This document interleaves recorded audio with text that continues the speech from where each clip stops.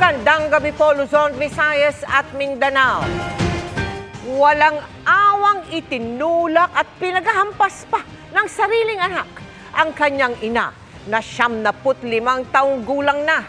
Ang dahilan, hindi umano pinayagan ng biktima na pumunta sa buro ng anak na 75 taong gulang naman.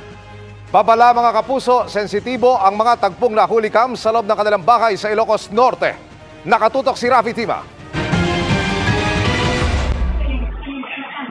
Tila galit na galit na itinulak ng 75 anyos na lalaki ang kanyang 95 anyos na ina sa loob ng isang kwarto. Ang natumbang matanda, agad nilapitan ng isa pang babae para tulungang tumayo. Pero hindi nagpaawat ang lalaki. Mas malala ang mga sumunod na nangyari. Dinig na dinig ang palahaw ng nakahiga ng matanda habang paulit-ulit na pinaghampas ng kamay ng galit na galit pa rin niyang anak. Ang kasama nila sa kwarto, sinusubukan pang salagin ang braso ng lalaki. Pero hindi niya ito maawat. May isang punto rin sinubukang tumayo ng matanda pero sinampal ito ng lalaki at muling napahiga.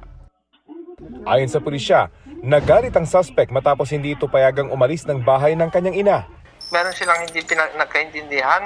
Uh, itong anak daw na suspect natin, nagpaalam sa kanyang nanay na pupunta sa isang burol. Nairita itong anak, kaya nagawa na niyang saktan.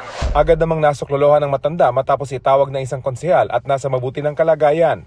Wala raw itong balak magsampa ng kaso laban sa anak na hawak na rin ng mga pulis. Ayaw naman niya maghabla kaya isang intervention na lang natin. Both of them are uh, undergo counseling. Yung anak naman niya ay kusang loob naman na humihingi ng patawad sa kanyang nanay.